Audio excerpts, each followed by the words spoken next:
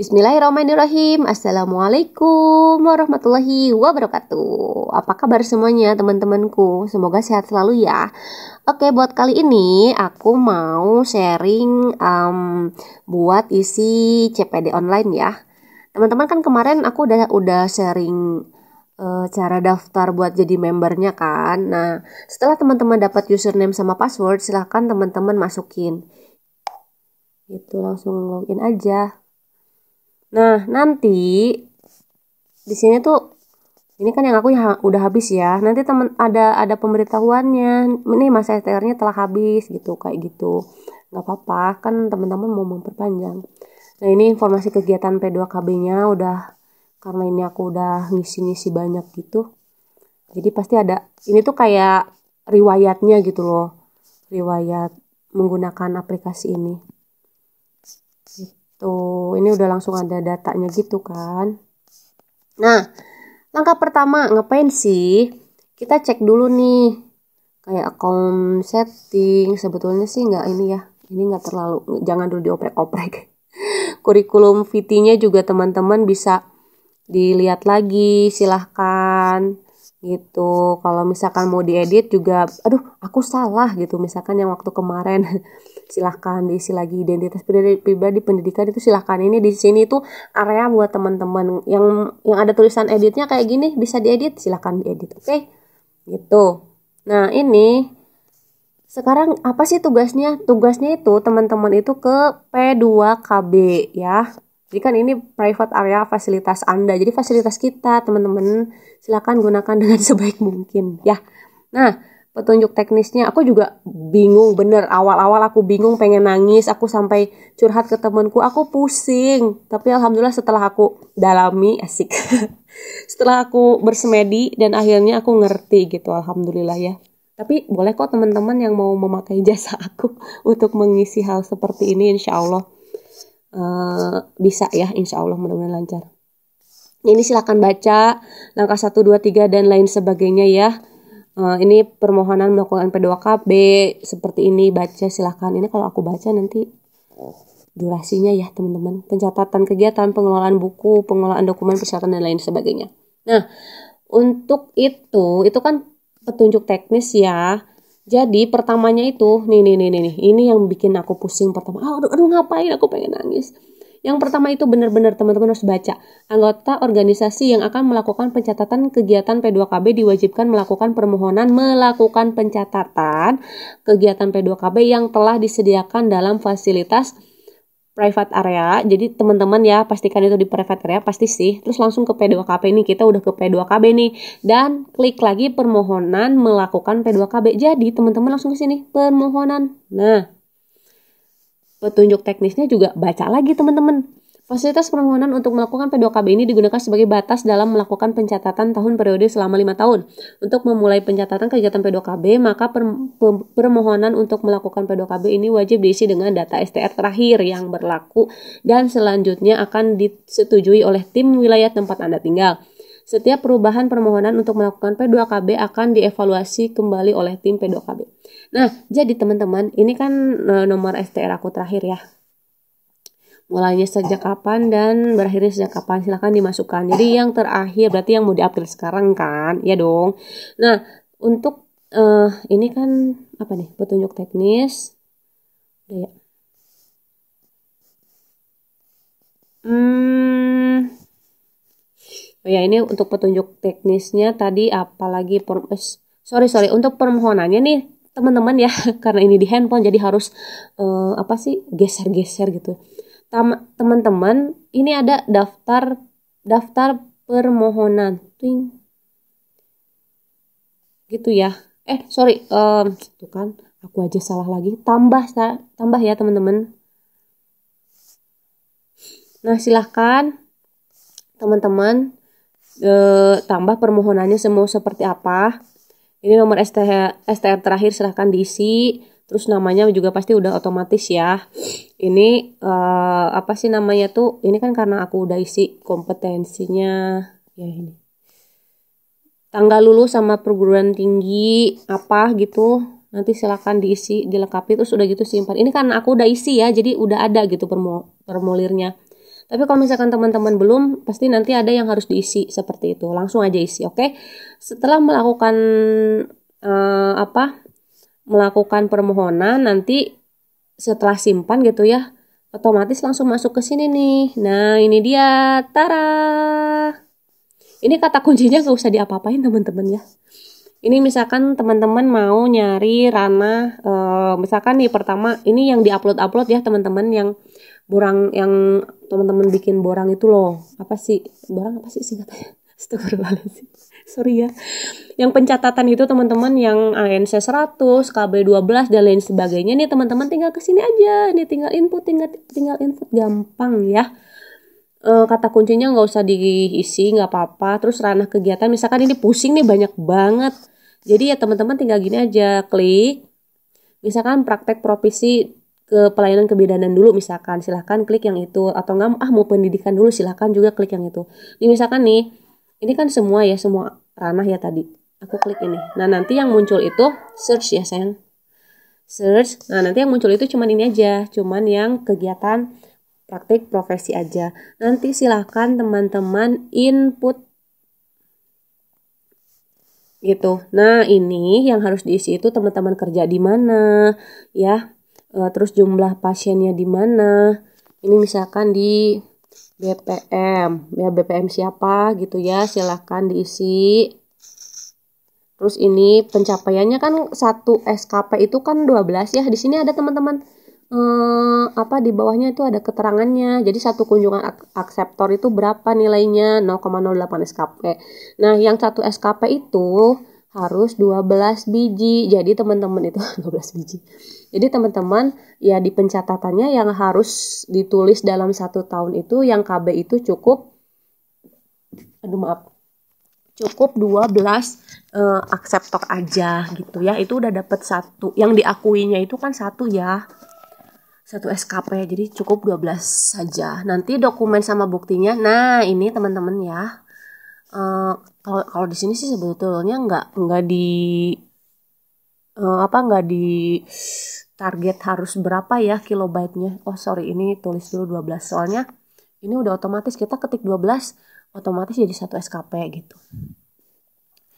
Jadi um, untuk pilihan filenya seperti biasa tadi diusahakan di bawah 150 kilobyte aja ya biar aman gitu. Soalnya kalau nggak dari situ takutnya nggak nggak bisa ke upload. Nah kayak gini. Tapi ini nanti nggak akan aku simpan ya soalnya pasti nanti dicek lagi gitu sama ad, eh kok administrator sama verifikator kan malu ya nah tanggal mulainya tanggal mulai kegiatannya misalkan teman-teman karena tadi aku kan STR terakhir itu kan 2017 sampai 2021 kan jadi nanti aku bakalan klik ini misalkan dari per kapan nih? Aku kan kelahiran Maret jadi per per Maret atau enggak mau April. April per tanggal 1 misalkan ya ini tanggal 1 ini April. Terus ininya sampai misalkan um, April mau apa sih? Mau Maret 2018 atau mau sampai Desember aja misalkan sampai 30 Desember 2000 masih di di tahun yang sama juga nggak apa-apa ya nggak masalah. Pokoknya per periode teman-teman harus ingat. Per periode ya. Ini misalkan karena April ke Maret jadi 2000 sorry ininya aduh 2000 berapa? 2007 eh 2018 ininya 2000 eh kok 16 17 maaf, maaf. nah gitu oke setelah itu ini gampang banget setelah itu simpan. Nah, kalau disimpan nanti bentukannya kayak gini nih, teman-teman. Jadi teman-teman cuma tinggal masukin, masukin, masukin aja kayak gitu. Gampang kok, tinggal ke buku log nih. Mana sih? buku log, oh sorry. Lihat ya. Nah, nanti bakalan seperti ini nih bentukannya. Tuh, udah ada kan? Ini seperti tadi aja, teman-teman silahkan ulangi hal yang seperti tadi. Gitu sampai selesai sampai uh, file dokumen-dokumen teman-teman itu buat S SKP itu dimasukkan gitu ya. Kalau misalkan teman-teman masih bingung, boleh hubungi aku. Astagfirullahaladzim ya Allah. Nah seperti itu ya. Nah setelah ini, uh, setelah misalkan teman-teman udah dimasukin semua tuh, udah aja simpan gitu, tinggal keluar aja nanti tunggu verifikasi dari verifikator. Nanti kalau teman-teman tinggal hubungi aja pihak verifikator di ranting. Siapa gitu ya ibu-ibu yang menjadi uh, apa? Uh, apa sih namanya tuh? Petugas. Kok petugas sih? Yang menjadi pengurus. Aduh, astagfirullahaladzim yang menjadi pengurus di. Silahkan teman-teman hubungi. Nanti biasanya eh, nggak uh, lama sih aku juga setelah menghubungi bagian verifikator dua atau tiga hari kemudian itu udah udah ada hasilnya gitu nanti ketahuan uh, mana yang diterima mana yang tidak gitu kan kalau di, udah diisi semua tapi aku mau nunjukin dulu yang ini tapi bentar dulu. Ya. Ini lihat nih lihat kan? Hmm, ini kan total SKP nih udah semuanya. Nah untuk di borang pengisian sorry uh, ini bagian aku lupa sorry yang pengembangan pendidikan berkelanjutan kalau nggak salah. Khusus untuk apa? Untuk upload upload upload sertifikat ya teman-teman ya ini jangan lupa nih uh, seperti ini nih kan input ya nah ini tuh teman-teman teman-teman baca ya jangan lupa sayangku ini misalkan teman-teman nih ikutan seminar, seminarnya seminar lokal. Lihat kalau misalkan lupa, aduh berapa jam ya? Lihat di sini. Seminarnya itu harus minimal itu teman-teman dapat dapat dua SKP itu, eh dua SKP. Nah, teman-teman kan misalkan peserta nih. Untuk yang lokal itu minimalnya itu adalah 4 jam, teman-teman. Jadi kalau misalkan teman-teman masukin 3 jam, teman-teman nggak akan dapat SKP tuh. 0 SKP. Jadi jamnya itu harus ditulis kalau misalkan buat dapat satu SKP itu ya buat seminar lokal aja itu harus 4 jam gitu jadi amannya kalau teman-teman lupa nih aduh aku berapa jam ya ikutan seminar? Ya udah tulis aja 4 jam gitu. Jadi teman-teman otomatis dapat dapat satu SKP dan jangan lupa yang kalau seminar internasional itu seminar internasional itu nggak mungkin 3 jam dong ya pasti 4 sampai 8 jaman gitulah tergantung.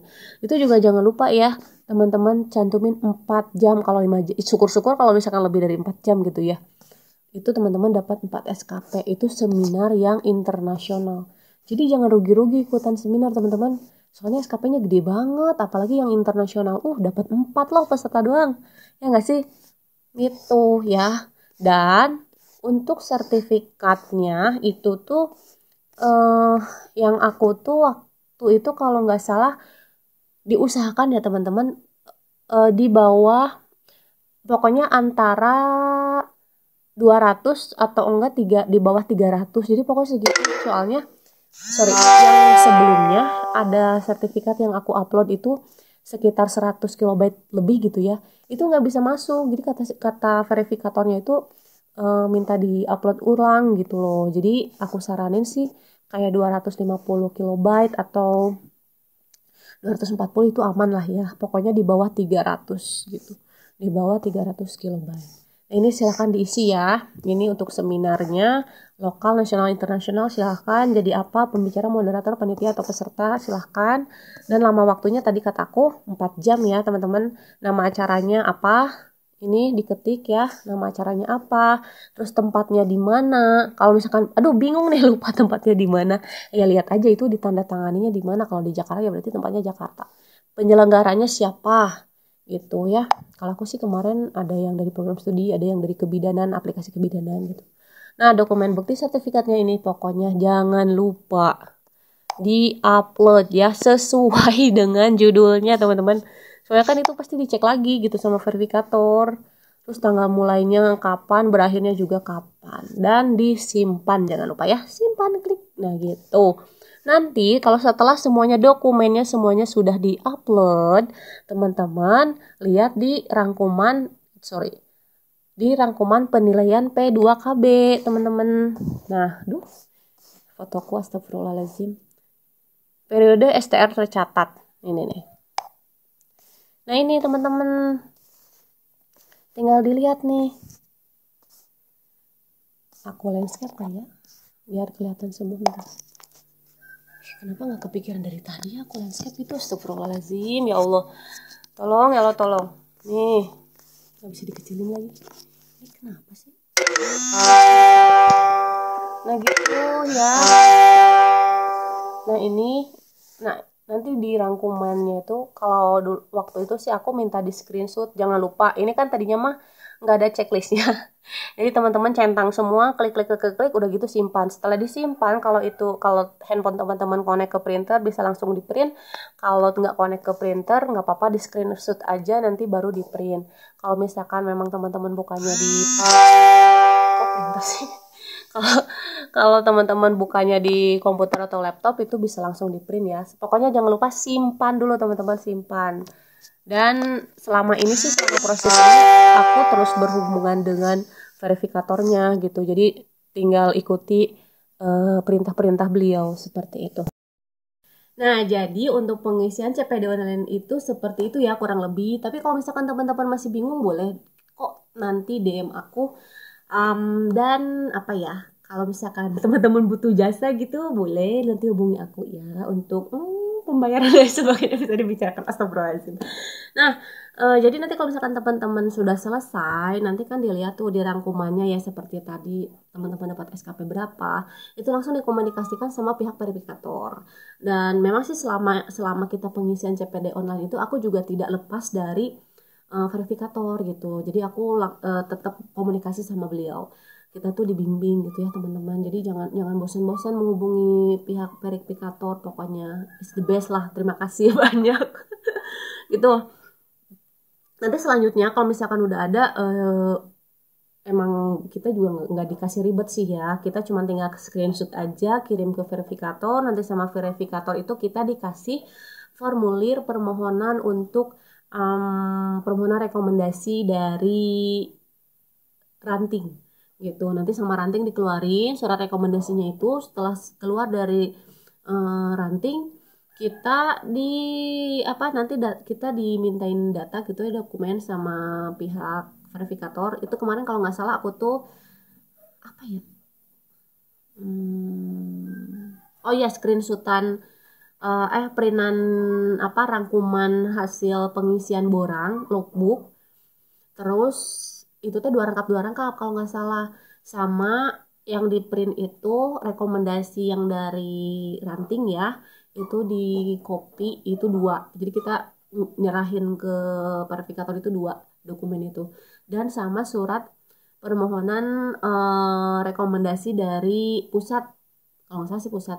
Ini bentukan bentukan kayak gini nih. Masih ada nggak ya aku mudah-mudahan aku masih nyimpen ya bentar dulu aku pause dulu ya biar nggak terlalu lama. Aku cari dulu bentar. I will I'm back.